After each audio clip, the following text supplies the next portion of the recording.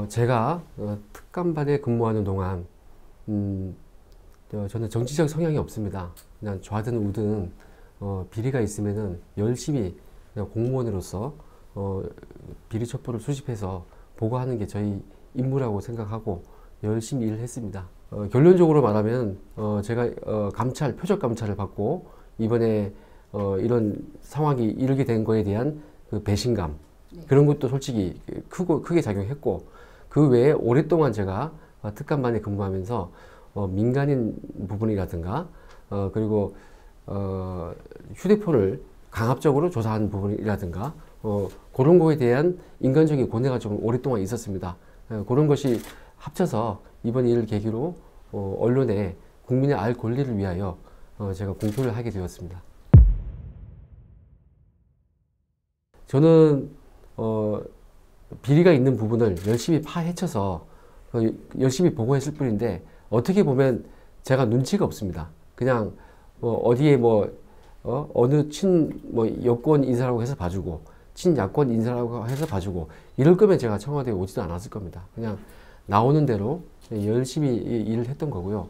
그런데 어, 우윤근이나 어, 이강래, 뭐 김상균 등등 친여권 인사에 대하여 어, 제가 보고서를 쓴 것은 어, 제가 팩트를 충분히 확인했음에도 불구하고 어, 하나도 반영이 되지 않았습니다.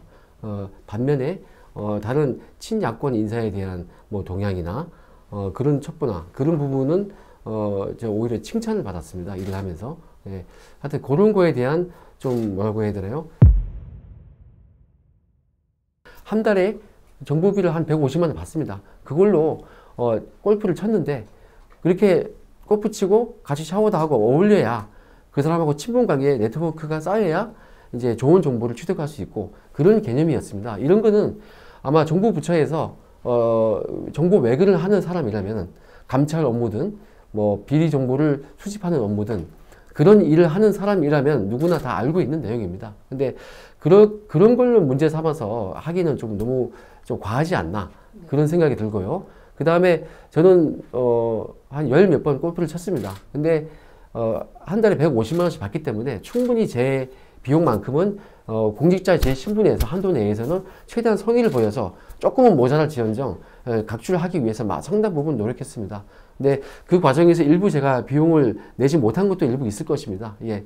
근데 그런 거에 비해서 너무 부풀려서 일부 되지 않았나. 예. 그런 것이 있고요. 아직 결론적으로는 저도 잘못한 것이 있습니다. 예. 예, 그건 제 시인하고요. 예.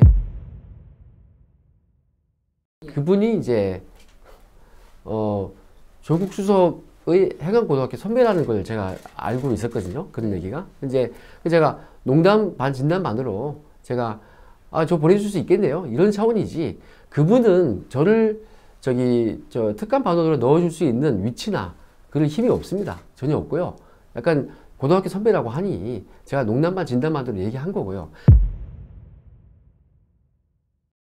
특감 반장이 그 상부의 지시를 받고 어, 외교부권 감찰 같은 경우 그 대상자 명단 해서 1번부터 10몇 번까지 열 몇 명에 대해서 그뭐 뭐 예를 들면 뭐 차관보, 뭐 심의관, 뭐 그리고 뭐 북미 국장, 동북아 국장부터 해서 서기관까지 한 열 몇 명에 대해서 그 명단을 가져왔습니다. 그래서 이제 가지고 와서 특감반 이 특감 반장 포함 10명이거든요. 전체 회의를 했습니다. 회의를 하면서 어 지금 대통령의 방중 이게 작년 버전입니다. 작년 12월 버전입니다.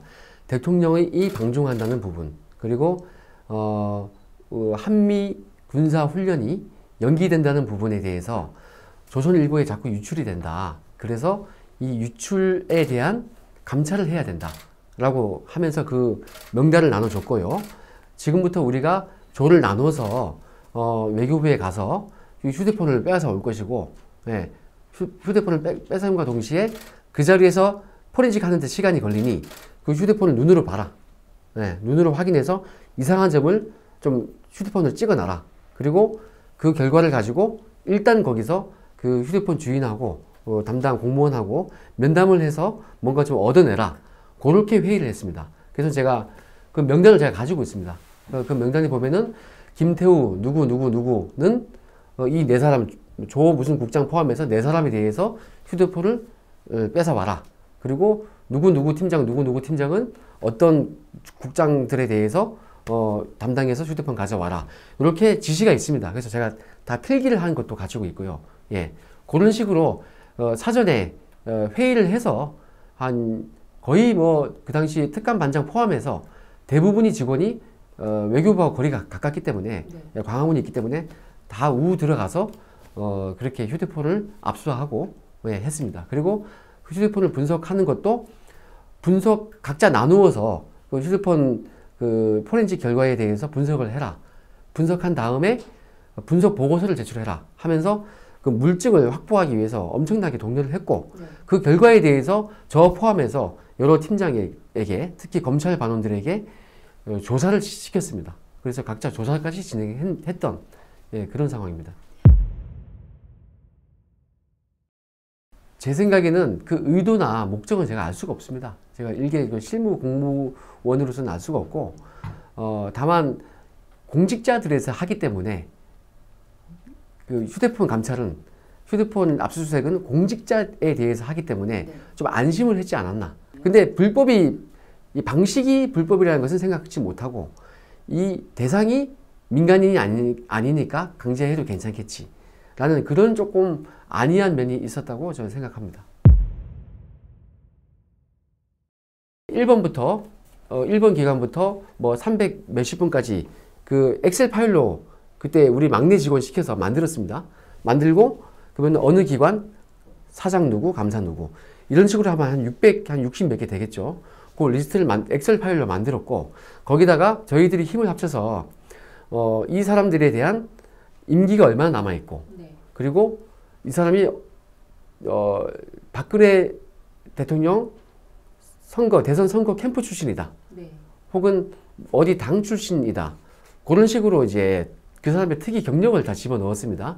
넣고 그걸 이제 그, 그 작업이 끝난 다음에 그 엑셀 조팅이 되니까 어 임기가 좀 좀 제법 남아 있고 임기가 이제 어, 뭐 두세 달에 끝난 사람은 두 빼고 임기가 오래 남아 있고 그리고 어 그 중에서 그 박근혜 캠프라든가 새누리당 뭐 전문위원 출신이라든가 그런 식으로 이제 친야당 성향의 공기업 그 사장과 감사에 대해서 다 시추렸습니다. 그래서 그게 100개인지 200개인지 기억, 기억이 안 나는데 그렇게 상당수를 추렸습니다. 660여 개에서 한 1, 200개 정도로 기억이 되는데 그 정도를 압축을 해서 그 사람들에 대해서 우리 8명이 배분을 해서 그 특감 반장의 지시에 의해서 그 감찰 동향을 수집해 와서 그 표에다가 감찰 동향을 기재를 해 넣었습니다.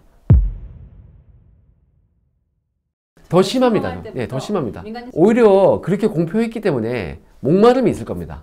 특히 이번 정부는 국정원도 없고 경찰 정보관들도 부처 출입을 못하게 하고 의지할 곳은 저희밖에 없습니다. 그래서 저희한테 업무가 좀 과부하가 걸렸지 않았, 않았는가 좀 그런 생각이 좀 듭니다. 예. 뭐 특별히 없고요. 한 번 제가 비서관한테 전화를 했죠. 그 그때 어 내 경찰청 조회건 억울한 거 알지 않느냐. 그러니까 그러더라고요. 아 예전에 청와대에서 감찰 받을 때도 오해가 풀렸으면 좋겠다라고 내가 말하지 않았느냐 하고 저를 좀 달래더라고요. 예, 그렇게 한번 통화를 한- 통화를 한 적이 있고 그 외에는 통화한 적이 없습니다. 예.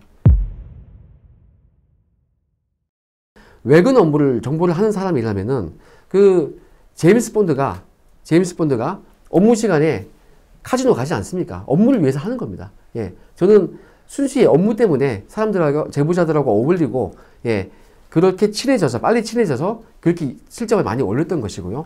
그런 부분이 있음을 좀 어, 국민들께 국민께 양해를 구하는 부분이고 일부 제가 잘못한 부분도 있습니다. 그건 제가 어, 부적절한 부분이 일부 있기 때문에 그 용서를 구하는 바이고 다만 그것은 어, 제가 어, 표적 감찰을 당했다. 그리고 원래 감찰 목적 밖에 불법 수집 증거다. 그렇게 해서 저는 어, 그런 부분이 억울하다고 얘기하는 부분입니다. 그래서 휴대폰을 제출해서 저같이 탈탈 털린 사람 중에 저는 저 정도 나- 안 나올 거라고 저는 생각하지 않습니다. 별 것이 다 나올 것입니다. 근데 저는 너무 억울했기 때문에 그, 그 조회건에 한해서 저 한번 동의를 했던 것인데 그 외의 것을 가지고 이렇게 저를 전방위로 표적 감찰을 하니 그 부분이 억울했던 부, 부분이 있고요. 그러니까 그거에 대해서는 일단 저도 부족자는 면이 있기 때문에 용서를 구하고 다만 제가 오랫동안 심사숙고했고 괴로워했던 문제의식을 가지고 있었던 그런 공익적인 부분, 민간인을 조사했던 부분, 그런 정보를 수집해서 정부가 어, 이걸 처벌하라고 이첩시켰던 부분, 예. 그리고 어, 우윤근 등저 친정부 인사에 대해서 어, 저 감사를 무마했던 부분 등등 이런 거에 대해서는 어, 사실대로 낱낱이 밝혀져야 한다고 생각합니다. 예, 이상입니다.